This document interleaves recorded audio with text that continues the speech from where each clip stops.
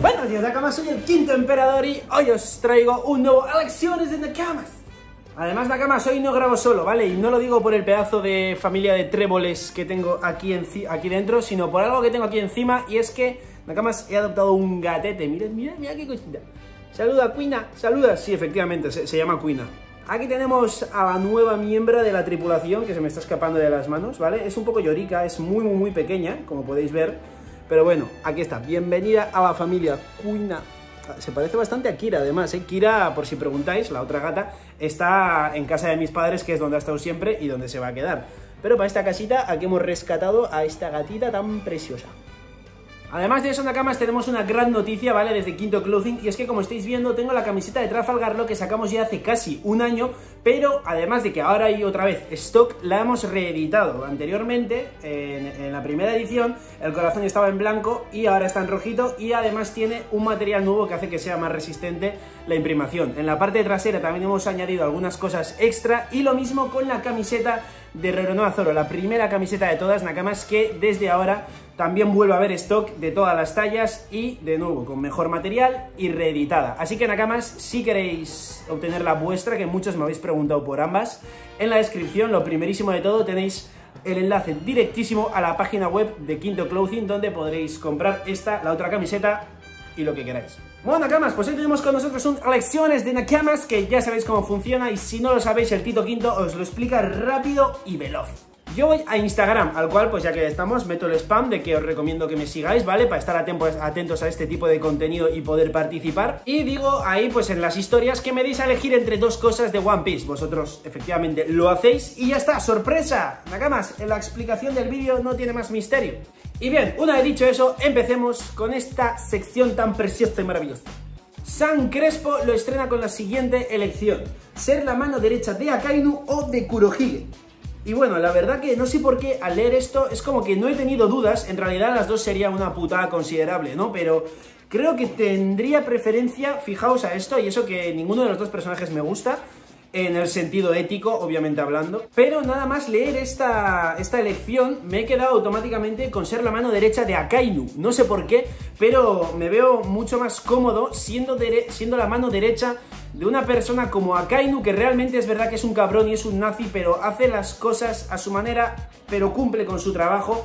Y realmente, querramos o no, es un tipo de justicia al final, ¿no? Como que intentando hablar de una manera fuera del ámbito One Piece, es de la parte buena, en realidad. Aunque, aunque no, ¿vale? Realmente, creo que, creo que no estoy explicándolo bien, pero me entendéis, ¿no? Es, por un lado, como que no me va a traicionar a pesar de ser su mano derecha. Y realmente con Kurohige, siendo la mano derecha de Kurohige, tampoco creo que hubiera una traición por su parte como tal, pero desde luego hay bastantes más probabilidades y creo que es más peligroso ser la mano derecha de Kurohige que ser la mano derecha de Akainu. A mí, que un tío tan estricto y tan nazi como es Akainu tenga confianza total en mí y me pueda enmendar cualquier labor que él haría, para mí eso sería como muchísimo elogio. Entonces yo creo que me quedo más con ser la mano derecha de Akainu. Y así nace una pregunta que la verdad que me gustaría que vosotros en los comentarios también pusierais vuestra elección y por qué, ¿vale? No solamente el personaje, sino por qué también. Y es la siguiente. ¿Que muera Zoro o que muera Sanji? Y a mí esta pregunta, bueno, para empezar obviamente no elegiría que muriera ninguno de los dos. No soy partidario de que los Mugiwaras mueran, a excepción de Usopp, que ya sabéis, tengo ahí mi, mi, teoría montada y mi justificación de por qué creo que al final de la serie podría y tal vez debería morir, pero entre Zoro y Sanji, los cuales creo que ninguno debería, me quedo con que muera Zoro por un motivo sencillo.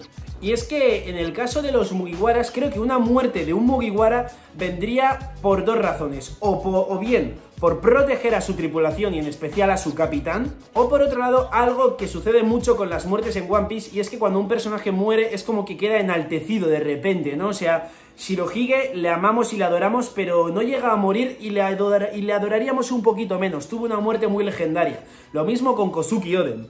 Corazón, mismamente también, no llega a morir y no sería tan dramático y no le querríamos tanto posiblemente. Es decir, las muertes en One Piece normalmente enaltecen mucho a ese personaje.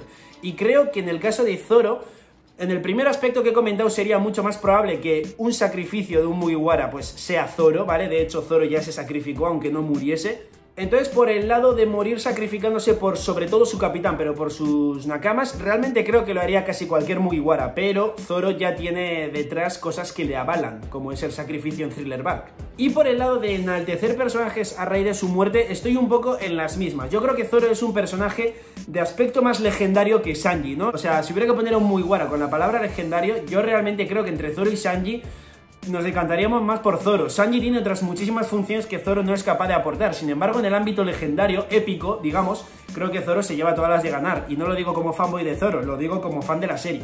Entonces, aunque realmente entre los dos Mugiwaras la muerte sería muy épica y legendaria eh, y ambas enaltecerían al personaje, yo creo que una muerte de Zoro sería aún más legendaria. Power Up o guionazo para Sanji. ¿Qué pregunta es esta? ¿Quién va a querer un guionazo? Plantéatelo muy serio. Vale, de acuerdo, me lo planteo muy serio, pero muy serio además, ¿eh? Saber qué es el One Piece y cómo es el final o que no acabe nunca. Hombre, a ver, es que el hecho de que no acabe nunca implicaría directamente no saber lo que es el One Piece o el siglo vacío, por ejemplo, ni el final, obviamente. Entonces, eh, con mente fría, yo, por ejemplo, incluso algo más estricto, me dices que acabe en dos capítulos o que no acabe nunca, y preferiría que se cerrase en dos capítulos, aunque queden algunas dudas sueltas. Preferiría que se cerrase en dos capítulos, porque One Piece, que sea larga, se puede perdonar. De hecho, yo creo que nos gusta a la mayoría, y que sea muy larga también nos gusta, pero que no acabe, yo creo que sería algo horrible, tanto para el mundo del manga anime en general, como en especial para los fans de la serie. O sea, que no se cierren tantos misterios y que no tenga una estructura final la serie, que ni siquiera veamos un que se acerca al final, ni tan siquiera eso sería muy duro. Entonces yo personalmente preferiría joderme y saber ahora qué es el One Piece, el siglo vacío y todo, antes que no acabe nunca la serie. Que Luffy derrote a Kaido solo o con ayuda. Yo siempre he sido partidario de que Luffy debe derrotar solo a Kaido por, para romper esa leyenda de que el 1 versus 1 Kaido siempre gana, ¿no? Pues que llegue nuestro protagonista y mande ese dicho a la mierda, sería lo suyo. Sin embargo, tiene bastante pinta de que por lo menos de momento va a empezar un duelo junto a Yamato, ¿no? Es lo, que parece. A no ser que Luffy llegue arriba de nuevo y ya nos encontremos con Yamato reventadísimo, que también puede pasar. Aún así, yo creo que el duelo final, final, absolutamente final, golpe de gracia y recta final del combate, sí que va a ser solo Luffy contra Kaido, aunque al principio puede ser que Yamato esté ayudando. Volver a ver a Enel o volver a ver a Doflamingo. Preferiría volver a ver a Doflamingo. Enel ya lo tendremos en el corazón para siempre. Cosa que Doflamingo no, Doflamingo no tiene corazón ahora mismo. Asier Guibello comenta, el final del fanart de los Mugis muertos con Brook cantando o el final de Luffy siendo ejecutado. Estos son dos finales fanarts que se han inventado por ahí, que, que realmente no es ni un final, es simplemente una escena final, ¿vale? Os pondré, me imagino que encontraré ambas por internet fácilmente. La primera es, pues, Brook, como veis, eh, delante de todas las tumbas de los Mugiwaras, porque Brook en principio no va a morir, en principio.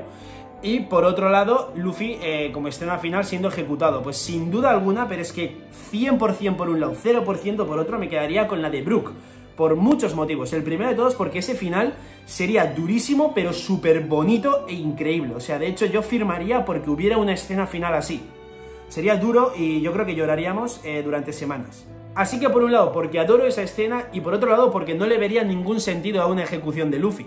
Roger murió ejecutado precisamente para hacer de altavoz al mundo, para que todo el mundo le escuchara y le viera y pudiera lanzar el mensaje que hizo que, toda la gran era de la piratería diera comienzo para que entre ellos apareciera Luffy y cumpliera con lo que Roger no pudo cumplir por, por época y por su enfermedad. Pero cuando termine la serie, Luffy ya va a haber cerrado absolutamente todo lo que se lleva tramando desde seguramente el siglo vacío, 800 años atrás. Entonces, Luffy ya va a cerrar todo y no hace falta que alguien herede la voluntad de Luffy, no hace falta que, alguien cumpla con algo después de Luffy. Luffy va a dejar todo cerrado y morirá como tenga que morir, pero ejecutado no tiene sentido. ¿Para qué se entregaría a la Marina o para qué le va a capturar la Marina una vez cerrado todo?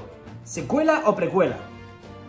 Secuela sin ninguna duda, una buena, una buena secuela ahí de los Piratas Rocks, de, de Shirohige por su lado también después, Roger... ¿Que el final de One Piece sea una tragedia o que el final sea feliz?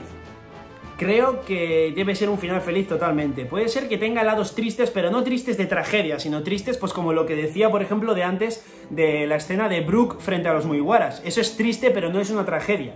Cosas de esas puede tener totalmente. Sin embargo, creo que One Piece es una historia de reír y de felicidad, ¿no? O sea, el, El último, la última isla se llama Laugh Tale. Roger se rió al ver el One Piece. Hay un tío que se llama Joy Boy, chico alegre. O sea, es que la serie gira totalmente en torno a la felicidad. No puede tener un final triste. ¿Las de Robin o las de Nami? A ver, es decisión difícil. Muy difícil, ¿vale? Eh, se han visto ambas en muchas ocasiones. Eh, en algunos momentos han sido más útil o más motivadora las de Robin, en otras más las de Nami. Depende del contexto. Yo personalmente me quedo con las frases de Nami porque dan a reflejar más su pasado duro más que las de Robin. Scooper lava. Scooper lava. ¡Rayleigh! Me quedo con Rayleigh. Y nada más, mis queridos Nakamasuelis, hasta aquí llegaría este Elecciones de Nakamas, el cual ya os digo que no me he tirado. O sea, que, que, no me he tirado solo en ningún momento. O sea, si veis que me he movido menos es por esta petarda de aquí, que estaba todo el rato en el suelo y pues, como comprenderéis, no quería atropellar a la pobre. Os recuerdo el tema del restock y reedición Nakamas de la camiseta, la tenéis ya en la web disponible por si queréis comprarla. Y por lo demás, pues como siempre os digo, si os ha gustado el vídeo, suscribíos para apoyar al Tito Quinto, que obviamente va a estar muy agradecido y regalad un likecito si también os ha gustado el vídeo. Muchísimas gracias por todo, un saludo Nakamas y hasta mi próximo vídeo.